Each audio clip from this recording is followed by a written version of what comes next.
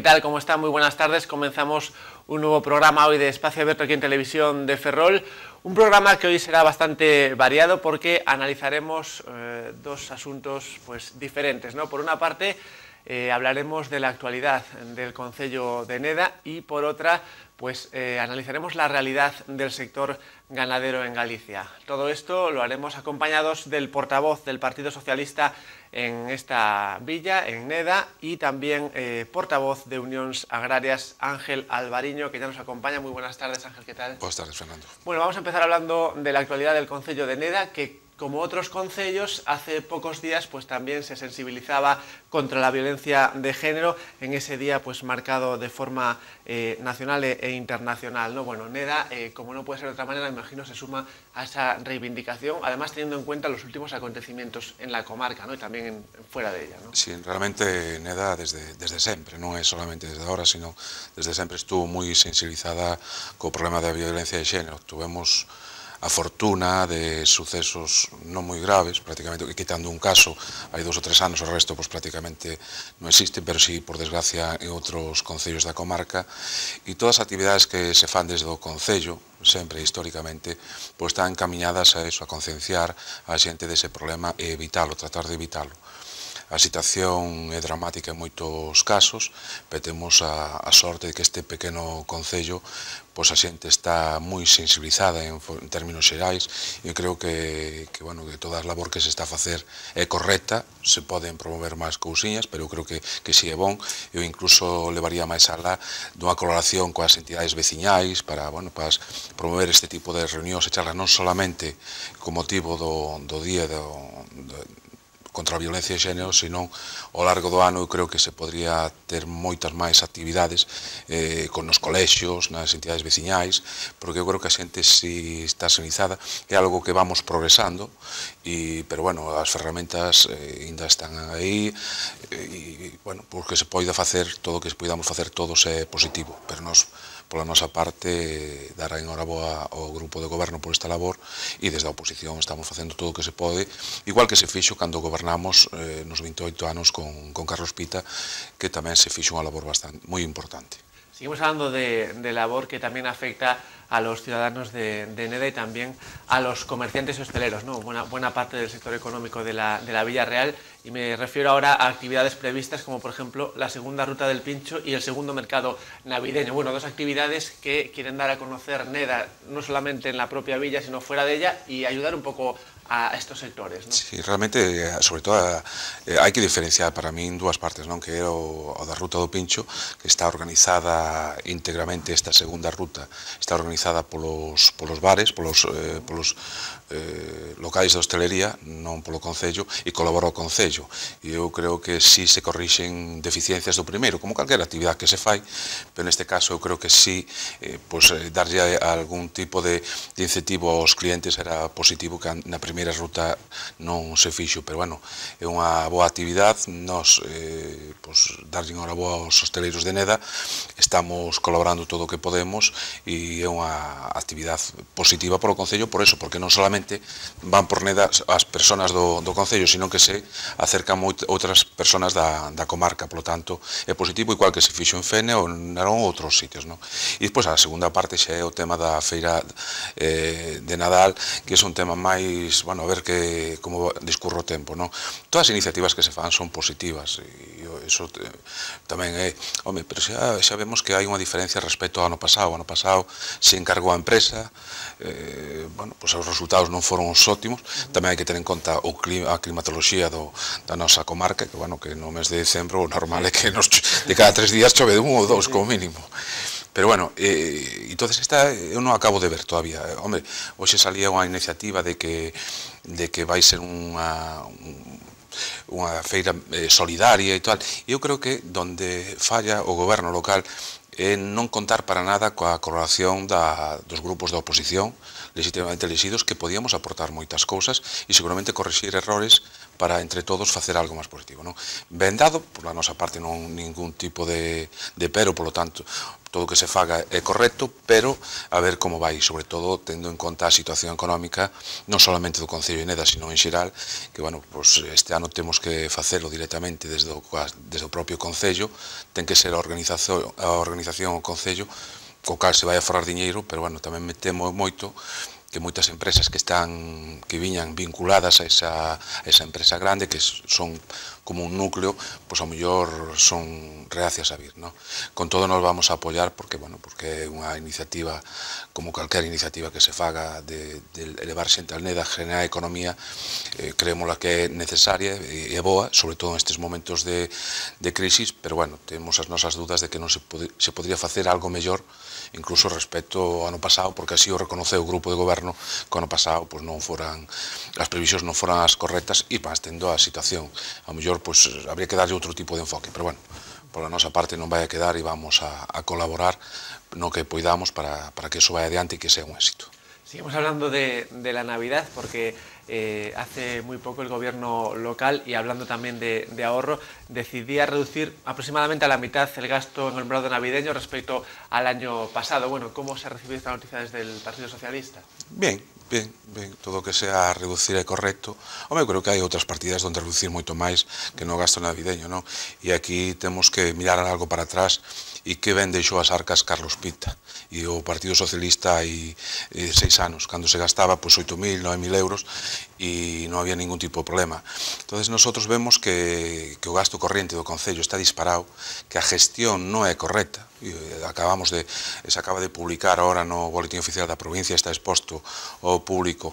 pois o a subida de, das tasas da agua, é dicir que se está subindo impostos, este ano subeu o IBI o 0 o 0,06%, dicir, estás subindo moitas cousas e, sin embargo, non dá. Quer dicir que non estamos xestionando correctamente e de feito hai investimentos como na Cobeluda que se que é unha obra que había que facer, pero eh, houve que facer a dous anos e aí mm, pois por desgracia perdimos máis de 36.000 euros. E iso a pesar de unha colaboración moi importante de, por parte da Diputación da Coruña, que históricamente tanto co goberno socialista como co goberno popular está facendo unha labor e unha inversión moi importante. Sin embargo, esta esta forro estes 4.000 euros que para nós son positivos, eh, pois bueno, vemos que eh, ben dado porque cada vez hai máis e sobre todo porque o plan de estabilidade do goberno central este, a todos os concellos e a NEDA non podía ser menos, lle está facendo que os gastos corrientes cada vez se reduzcan máis e estamos lo vendo incluso que o propio concello está obligando a determinado tipo de entidades, non a todas, que iso é onde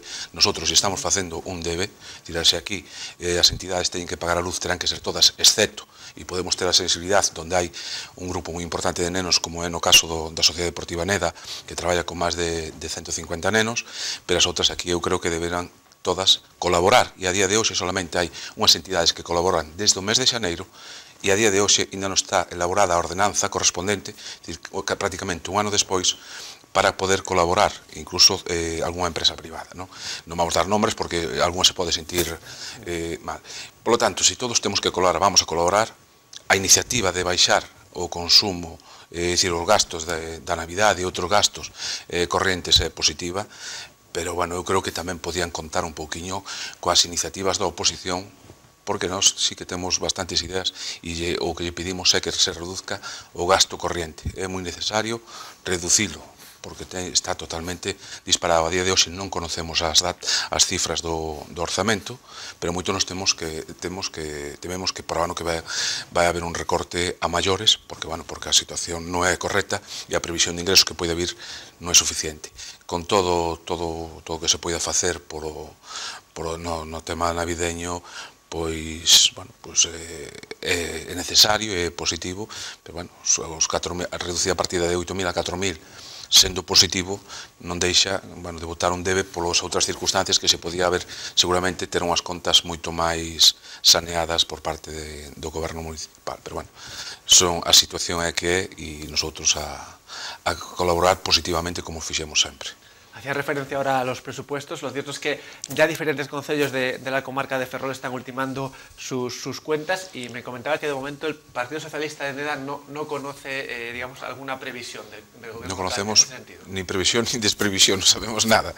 Eh, non sabemos nada, é certo, incluso históricamente, este grupo de por, eh, sempre eh, sole traer as contas o, prácticamente os últimos días. Recordo que algunha vez con 48 horas de antelación para que se, eh, vamos, estudiaran e, e analizaran e, e non se conta para nada coa, coas cousas que podíamos aportar, que son moi positivas, porque eh, a, a diferencia do grupo de, de goberno, que non son todos de NEDA, e non están, os, de, os da oposición, si somos, vivimos en NEDA e estamos todos os días cos veciños, e, por lo tanto, a veces esas cousas que desde o goberno non se aprecian, ou porque, porque, por lo que sea, porque, bueno, todos, eh, calquer persona co que nos poidan aportar, estamos enriquecendo os nosos conhecimentos e vamos a aportar cousas positivas e vamos a mellorar. E eu creo que esa falta de tacto, eh, esa falta que ten o grupo de goberno de non contar co, co apoio, coa opinión, comisión, de feito se eliminaron as comisións informativas, algo que nosotros non, non entendemos por qué, porque era unha cousa boa onde se aportaba, todos os grupos aportaban cousas e de aí eh, o, o grupo de goberno enriquecía eses, eh, todo, todos esos coñecementos, esas opinións e con eso se podía facer algo mellor, ao final podíamos estar máis ou menos de acordo, pero sempre quitábamos algo máis positivo. Sin embargo, neste caso non, non é así. No? E a día de hoxe, co plan de estabilidad que, que ten o que, que vai impoñer o goberno central porque porque sí, porque as contas son as que son e temos eh, as eh, os requisitos de Bruselas eu moito me temo que ser moito me temo que incluso eh, sea pois máis restrictiva cara ao ano que ven. Home, de feito, nosotros vamos presentar alegacións á subida da taxa de agua porque non nos creemos o estudio que se presentou por parte da empresa, neste caso a Coagés, eh, temos en conta a maiores que xa subeu o IBI, que vai subir o, vamos, que se vai establecer o canon da agua que entrou en vigor, pero que todavía non se pasou a nada, e a xente está nunha situación moi, económicamente moi,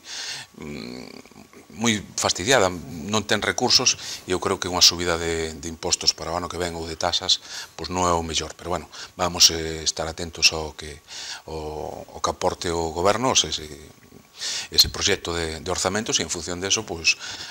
faremos as nosas aportacións. Hablando de aportaciones, de cara a esos presupuestos de 2013, eh, una de las principales, ya lo, ya lo decía antes, sería por parte del Partido Socialista la reducción en el gasto corriente. Eso para nós é fundamental, non subir os tasas ni impostos para nós nun momento de crisis eh, donde moitas personas están en situacións de desempleo, sin prestación económica de ningún tipo, eh, dependendo moitas veces incluso de personas maiores, porque teñen gracias a esa pensión poden vivir, non solamente en Neda, en moitos en toda España, por desgracia, está ocurrindo, non? Eu creo que eso sería unha das claves. E despois facer aportacións importantes, eh, pode utilizar, e agora que temos que aprobar o plan de obras e servicios da Diputación, non meter, como se veu eh, metendo os últimos anos, desde un punto de vista legal, eso sí é certo. É dicir, a Diputación permite meter o 50 ou 60%, o 60% no último ano para gasto corriente. Nós entendemos que debe ser o 100% para gastos de conservación de vías. As vías están fatal, non se, este ano non se puderon limpiar o, os marches. Eh, facer esas inversións donde, en zonas como no, no Puntal, donde se les prometeu aos veciños e facer unha mellora con, en, en función a ese plan de obras e servicios, ou incluso da Diputación, porque estou seguro que, que vai a, a facer convenios a, a maiores. No? Eh, temos un problema tamén importante na, en NEDA que eu creo que solucionan con 15, 20 mil euros, ou menos ainda, de feito o orzamento que me pasara o, o concelleiro de, do turno, que era o señor Gradeille, hai colaboración e, por tanto, enseñan esas cousas. Con 15 ou 20 mil euros podíase mellorar a señal televisiva da, da zona de, de Anca, Vilaonelle, Roxal, esa zona que polo tema do Monte Marraxón non se ve, de feito, temos a desgracia de non poder ver sí. en mesa medidas das casas televisión de Ferrol, que é algo que tan importante, a televisión de Galicia, que a xente quere, e dice, pero aquí non vemos nada. Eu creo que eh, é unha iniciativa que, vamos, se si non está recollida, claro, non sabemos, non podemos opinar, pero eh, que, eh, que, se faga a aportación necesaria e, pois, todo aquilo que sea necesario para servicios sociales, porque é donde eh, temos que facer o fin café. Conservar o que hai darlle un pequeno impulso a aquelas cousiñas que con fondos de outras administracións podemos eh, asumir e, sobre todo, en servicios sociales, eh, facer un, un apoio importantísimo e o maior esforzo inver, eh, de inversión que se poida, porque estamos falando de personas que están nunha situación moi mala e iso sabemos porque o desempleo na nosa comarca é gravísimo.